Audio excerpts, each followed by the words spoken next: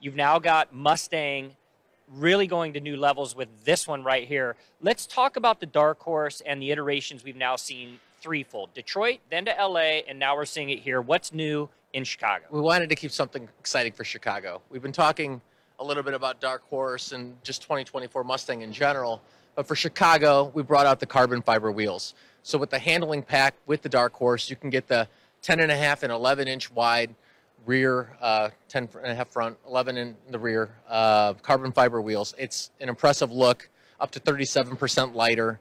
Um, obviously, that's unsprung mass, so it's that much better in performance. You're going to feel it through the steering wheel. And we're excited to have this design here because when people look at it, it's like that jewelry. It's that those cool shoes that uh, this car definitely deserves. Uh, something that you just said that really stands out to me is you said something that people are really going to look at. It's like jewelry. And I think that's something unique is that what we've seen in the auto industry from a transitional standpoint over the past, let's say 10 years, is that we used to go to aftermarket brands and, and upfit our vehicles when we buy them, right? You'd buy a standard five liter Mustang, you'd go home, you buy your own wheels, you buy your own spoiler, you put your own ground effects package on it. Now they're coming from the factory, and that's what you're doing with this Mustang right here. Talk to me about some of the aftermarket uh, attributes, if you will, on this dark horse? You know, one of the cool things is personalization with Mustang, and there's always different ways you can configure it.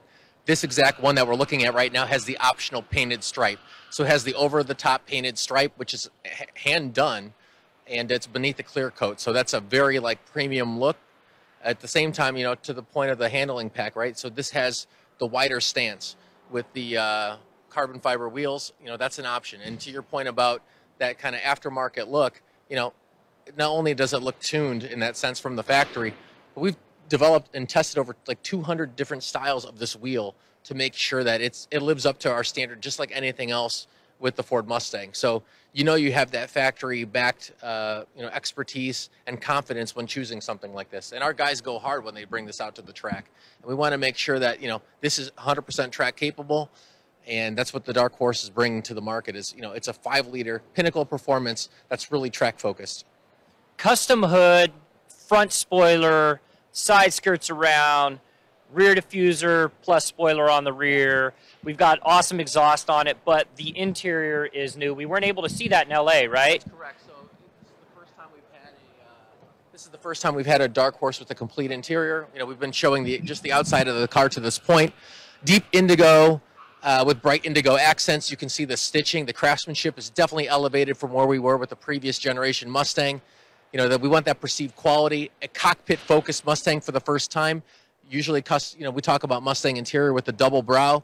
This one absolutely focused on the driver, and you see that, you know, that double screen and that, you know, really digitally immersive cockpit. You know, not only does it look cool, and it is focused on the uh, kind of our we say rising rebel customer, our younger customer we're looking for, but it's even powered by the same video game technology, video game drivers that they uh, have been growing up with. So you know, it really brings it to the forefront. All right, so before we go, there's a couple different things I want Gian to, to, tell us about.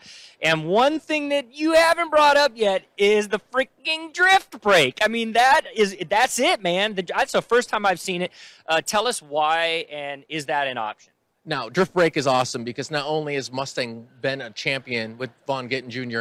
in Formula Drift, now we're giving our, our enthusiasts a chance to learn and be able to drift just like the pros, right? We've modulated this drift brake so that it easy, easily can lock up the rear wheels, and we, you know, we've developed the software so you can hang it out just like the pros. And you know what? We want to make it easier. We want people to enjoy their vehicle, and bringing the factory first drift brake helps with that. John Cadiz is with the enthusiast product planning, communication side of the brand. Uh, but we're going to close it out with this. I got to bring you in. Come on, come on. Shoes. I mean, that's how you roll now when you go to an auto show. His match this, mine, Captain America, baby.